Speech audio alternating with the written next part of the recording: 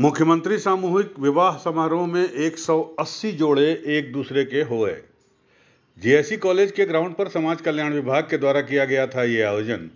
12 block, तीन नगर पालिका परिषद और एक नगर पंचायत से इस समारोह में, वैवाहिक समारोह में वैवाहिक जोड़े शामिल हुए।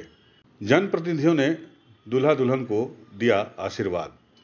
आपको बता दें, मुख्यमंत्री सामूहिक विवाह समारोह का आयोजन समाज कल्याण विभाग के द्वारा मिर्जापुर के जीएससी कॉलेज के ग्राउंड में किया गया।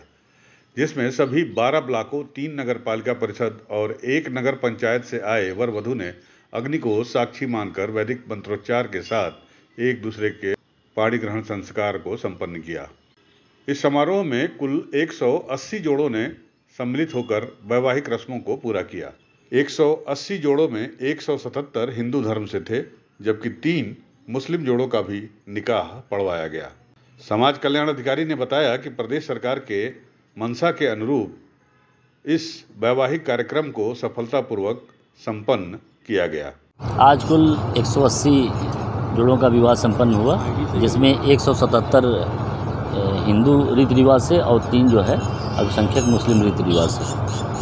इसमें कुल सरकार द्वारा इक्यावन हज़ार रुपये दिए जाते हैं। जिसमें पैंतीस हज़ार उन कन्याओं के खाते में ट्रांसफ़र कर दिया जाएगा।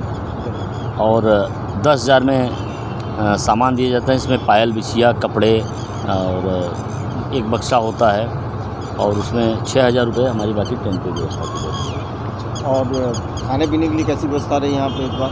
खाने पीने की बहुत अच्छी व्यवस्था सारे क्या और वी आई पी लोग बाद में इसमें शामिल सभी जोड़ों को आशीर्वाद और तोहफे के साथ रवाना किया गया।